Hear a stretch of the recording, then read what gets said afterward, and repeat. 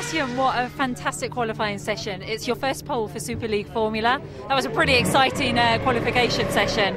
How do you feel?